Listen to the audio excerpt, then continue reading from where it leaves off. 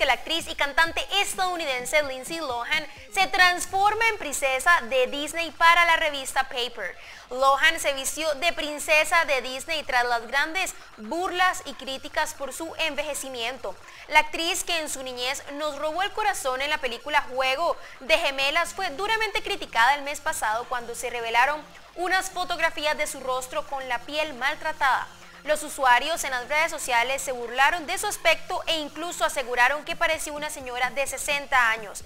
Tras esta polémica, la actriz norteamericana Lindsay Lohan se convirtió en la portada de la revista Paper representando a las famosas princesas de Disney, como estamos viendo ahorita en pantalla, Blancanieves, Ariel, La Cenicienta y La Bella Durmiente.